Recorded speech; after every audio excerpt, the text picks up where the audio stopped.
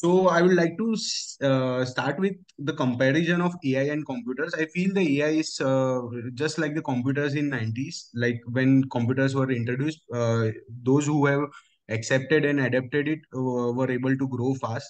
And same goes for the AI. So now uh, there are pros and cons of AI pros as we have seen our panelists have already shared uh, like it can do a lot of things automation of repetitive tasks enhanced accuracy advanced data analytics faster decision making and this goes on and on. Like there is endless uh, endless opportunities uh, uh, while using ai but uh, i would like to focus on cons also. There are a lot many cons of using ai and uh, as the, there is a time limitation i would like to focus on the uh, one con which is prompt prompting is very important uh, in AI. Like um, it is not necessary that you will always get the exact same result. Uh, if there is a uh, some, uh, slight difference in prompt, also the result will vary. So I'd like to focus on that con. Um, why prompt sensitivity matters because um, certain times what is uh, what is happening is you will get output differently and that will lead to inconsistent results. And there is also a challenge of language uh, language proficiency. If you're not good in writing and if you're not uh, able to prompt it correctly so the re re output which you will get is will not be proper.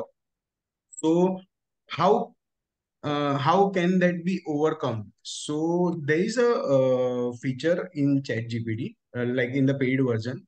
Uh, you can always yeah, you can go under the explore uh, GPT uh, section and always create your own GPT. So this is what basically this is is uh, like I have written a prompt also that create an income tax calculator, give data prescribed table and in the format comparison of old and new. So what is this uh, doing is basically creating a GPT uh, which will be just calculating the income tax when income is added in it. And this will take a lot of time. So I have one sample ready. I created one GPT. Yeah, the GPT was financial wizard. When the sample data which you upload, like uh, there is a domestic sales and all the things uh, of a company of year one, year two, and year three, and you want a projection for year four and year five. So when I'm prompting in normal in chat GPT that uh, I need a growth of 20% year on year, like uh, projection should be on the basis of 20%. So what data it will show is that all the things with, with sales, it will all increase all the things by 20%. It will increase purchase by 20%. It will increase everything by 20%. So this was the prompting issue because I just prompted that increase all the figures by 20%. So increase sales by 20%. So there was a prompt issue in that. So for that data, I have written the prompt, prompt grow sales by 20% and all the figures accordingly. Now, another time when I have created my own GPT, when I prompt achieve a 20% increase in sales and corresponding figures that have proven correlation with sales growth, means it will give me data like this, that sales will grow by 20%, but all the other figures will be in correlation with sales of historical and then grow accordingly. So this was the change. Now you can't expect uh, like every person uh, in your office to give same kind of prompt uh, like you do so uh, what you can do is you can create your own gpt for various purpose like uh, see this gpt has given me do you want to call this gpt as a text guide if i say yes it, will name it will be named as a text guide and then uh, the gpt will be created and the results are I have shown you the results. Now, what are the benefits of creating our own GPT? Like, uh, it gets a relevant because it's a tailored to accounting domain. So, uh, uh, it will always give you the result uh, which are there in uh, the knowledge base. Just like, uh, I'll show you one, my GPT.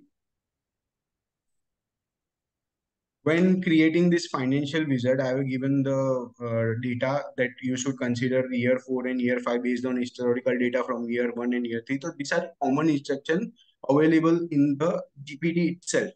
So and also you can uh, add things in the knowledge also. Like you can upload files. If i if i'm uh, calculating for income tax i can upload a bare act or something like that. So uh, it will always refer that knowledge from it.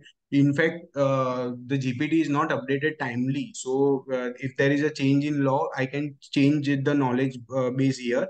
And then it can provide me the exact um, the result which are uh, according uh, which are uh, the new results like not the old one not the not updated one. So with creating gpts we can solve many problems uh, like data cleaning and processing predictive analysis audit analytics financial reporting. All this is possible with your prescribed output. You can decide your output you can structureize your output how the output you want and every time when you create a gpt every time when you enter a file and ask the gpt to do any analysis on that you will always get the exact same output as prescribed and as described by you so um, this was uh, um, my time. Like uh, this is what I wanted to share. Everything else is covered by all the panelists. And with creating your own GPT, I feel uh, there are endless possibilities and uh, a lot much can be done.